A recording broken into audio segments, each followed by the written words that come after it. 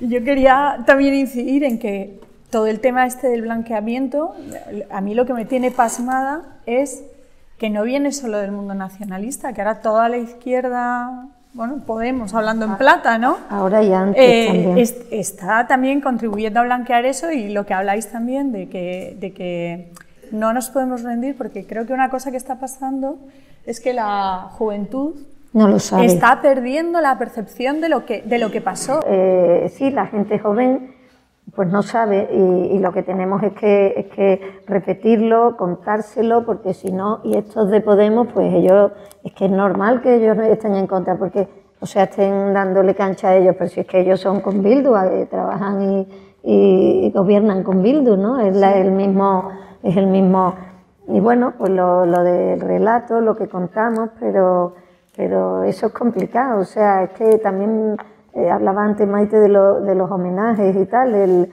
eh, yo paré dos homenajes a Albert- contra Alberto y contra Asen eh, porque le hicieron homenaje al asesino de ellos en Villava, pero con carrera popular con el nombre de este, que se llama Barrio, no sé qué, Sechu Barrio, no me acuerdo el nombre.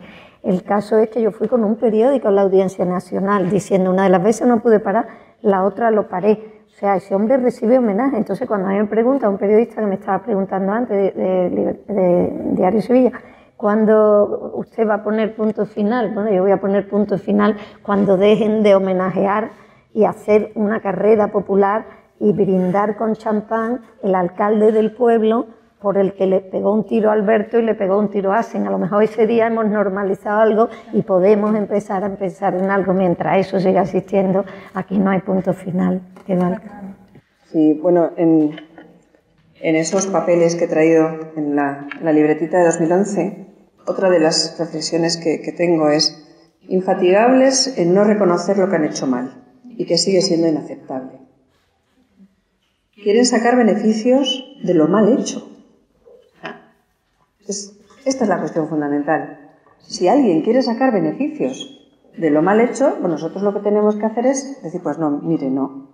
Usted es infatigable en no reconocer lo que ha hecho mal y nosotros vamos a ser infatigables en que usted reconozca lo que ha hecho mal. Porque en ese momento, lo hacemos por usted también.